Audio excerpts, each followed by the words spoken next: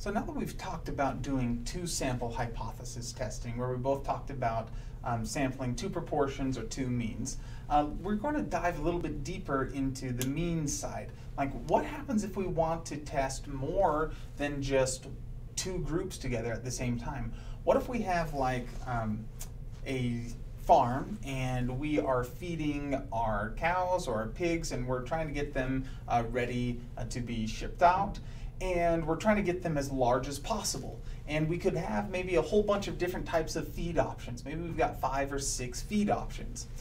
Well, we could take time and like do like these little comparisons of comparing one to another and then one to another, but it kind of takes a lot of time.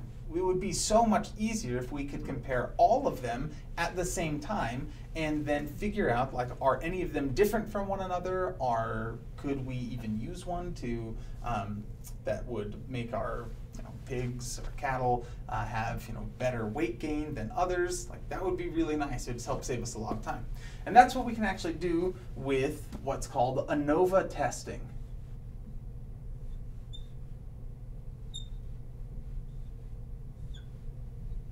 Okay, and ANOVA, it's, uh, it's an acronym. It stands for analysis,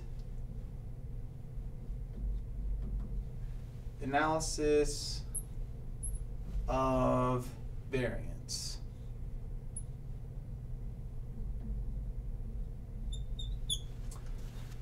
And what this lets us do is it lets us compare multiple groups together at the same time.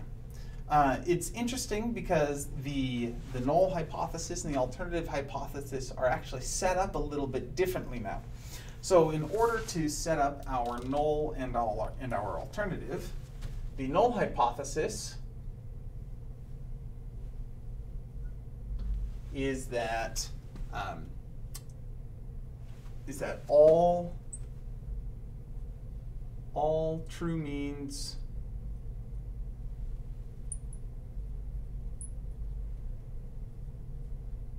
the same.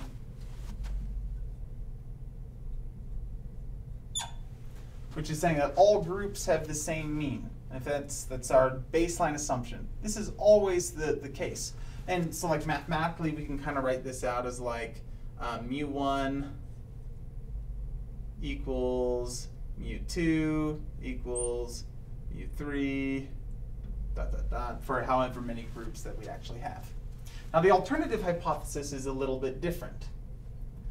So be careful with the alternative hypothesis. Here, what it is, is that there is is at least at least one comparison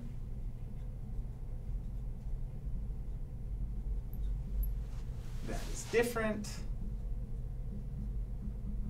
is significant.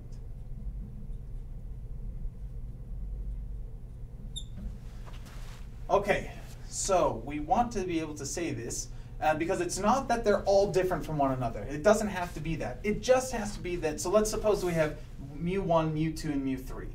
So the baseline is that they are all the same. The alternative is that there's at least one comparison in there that is different. Like if we were to, to compare mu1 to mu2, that one might be different. Mu1 to mu3, that one might be different, or mu2 to mu3. So we had those three possible uh, possible outcomes or possible comparisons. They're called pairwise comparisons. There's at least one comparison that is statistically significant. So if, if we had 100 groups, if there's just one that was found to have a significant difference, then we would be able to conclude the alternative uh, hypothesis.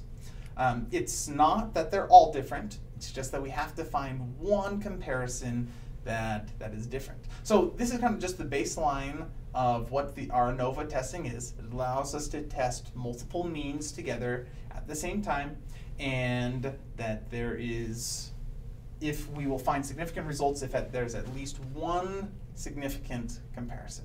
And we'll dive in into some of the requirements and some of the assumptions that are necessary for us to run our ANOVA test.